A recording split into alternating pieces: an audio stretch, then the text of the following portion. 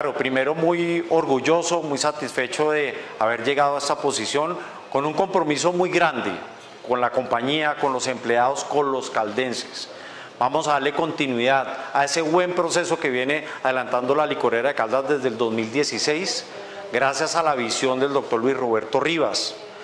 Nosotros queremos seguir en los mismos procesos de crecimiento de la industria licorera de Caldas para darle mejor inversión social al departamento.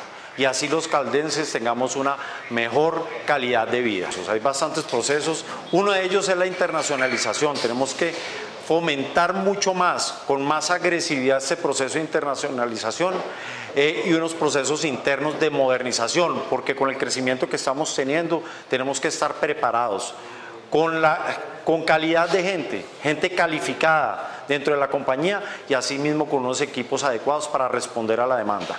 Cada vez lo tenemos que fortalecer más, esto nos ha eh, ayudado mucho para ser mucho más competitivos en el mercado, ser transparentes en todos los procesos de la compañía. Entonces es fundamental seguir fortaleciendo todo el gobierno corporativo de la compañía.